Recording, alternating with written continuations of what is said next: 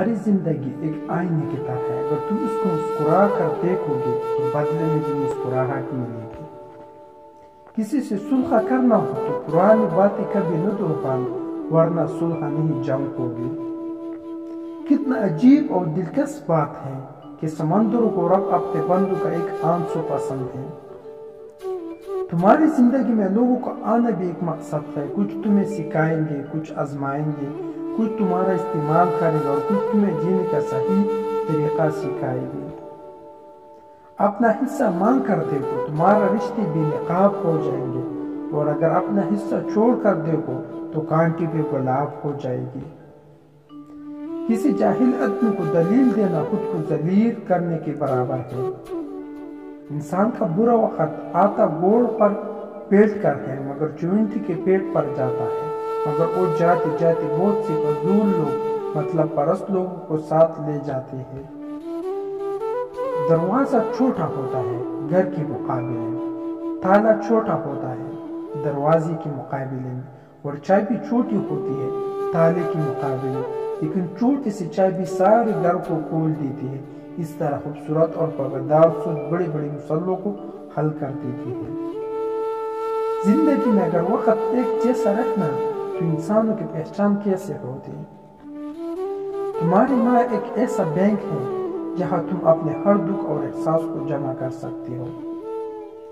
ज़िंदगी में हमेशा अपने साथ उन लोगों को चुनो, जो तुम्हें इज़्ज़त दे, कदर करे और अपनी ज़्यादा तुम्हें इज़्ज़त दे, और यह बेहतरीन दोस्त की निशानी है।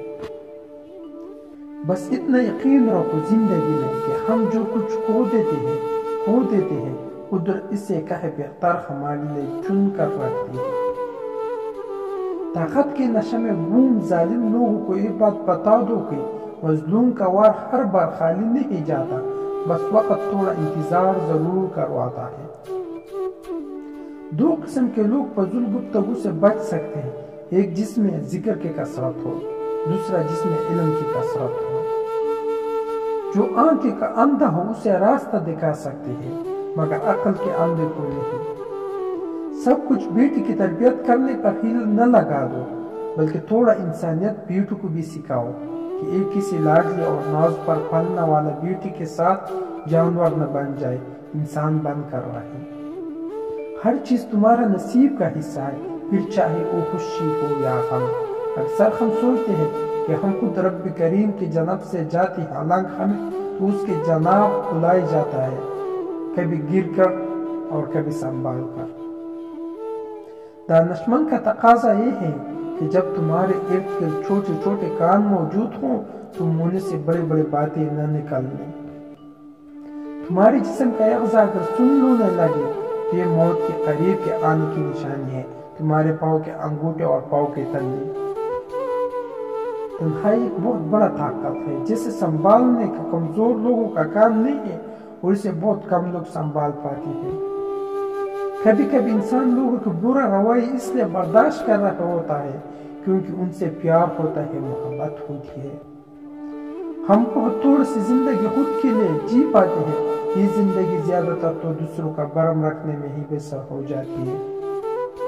अल्लाह ने औरत को तीसरा आँख भी दिया है जिससे वो मर्द हजरात की उस अंदाज को पहचानती है, जिस अंदाज से उसे देखता है। किसी को ज़्यादा सीधा साधा भी नहीं होना चाहिए। याद रखो, जंगल को अंदर सीधा दरख्त को जल्दी काट दिया जाता है और टेढ़े दरख्त को अपनी जगह पर रखड़ी रखती है।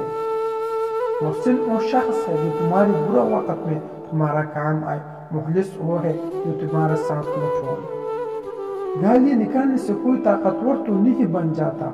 इस तरह बर्दाश्त करने से कोई भी बुजदिल नहीं बन जाता।